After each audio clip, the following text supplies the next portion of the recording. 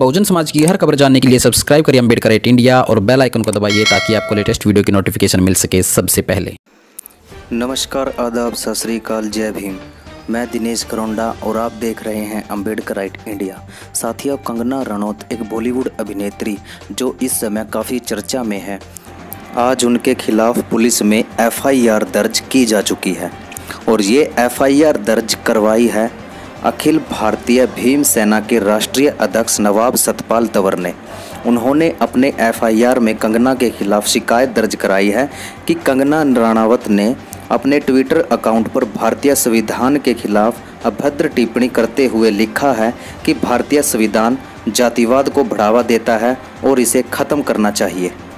नवाब सतपाल तंवर ने यह एफआईआर थाना गुड़गांव में दर्ज करवाई है और उन्होंने मांग की है कि कंगना के खिलाफ देशद्रोह का मुकदमा दर्ज किया जाना चाहिए, क्योंकि उन्होंने भारतीय संविधान के खिलाफ जो लिखा है, वह बहुत ही अभद्र है। उन्होंने भारतीय संविधान को गाली दी है।